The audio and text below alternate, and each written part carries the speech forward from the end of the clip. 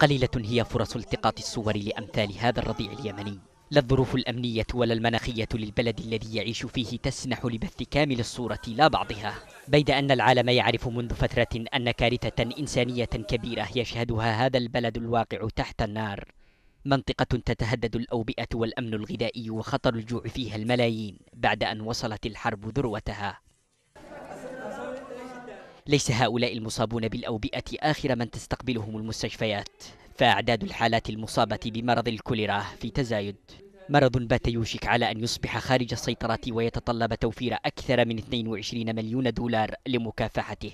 هذا ما قالته منظمة الصحة العالمية كلام غير مطمئن. حتى وإن أكدت إمكانية وقف هذا الوباء يحتاج الأمر إلى توفير دعم عاجل للحيلولة دون انتشاره. كيف هذا ما ستبحث المنظمة مع شركائها الدوليين من أجل إنقاذ هذا البلد من الأوبئة الفتاكة؟ ويتطلب الأمر أيضا وقف الصراع الدامي والمرير لإدخال المساعدة الطبية والغذائية. بحسب منظمة الصحة العالمية فإن ارتفاع عدد الحالات المصابة بمرض الكوليرا في الجمهورية وصل قبل ثلاثة أيام إلى 18 حالة. في حين تم تسجيل 340 حالة يشتبه في إصابتها بالوباء نفسه في كل من الحديدة وتعز وصنعاء والبيضاء والعحج أما عن الوفيات فلم تسجل المنظمة إحصاءات دقيقة وشاملة باستثناء ما تتناقله الأخبار عن حالات وفيات في بعض المحافظات.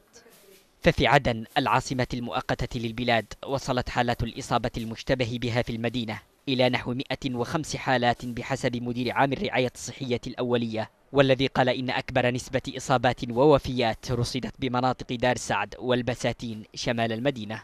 وهو الأمر الذي دفع وزارة التربية والتعليم في عدن لإقرار منح طلاب المدارس إجازة مؤقتة من أجل اتخاذ إجراءات للوقاية من الكوليرا تجاوبا مع مخاوف أولياء الأمور من تفشي الوباء. الشاهد أن سرعة انتشار الوباء أكبر من الجهود الحكومية والدولية لمكافحته. فتفشي الكوليرا يختصر وضع اليمنيين البائس والمعذب ويجعل من الصعب مقاومته في ظل انعدام الرعاية الصحية واستمرار النزيف اليومي.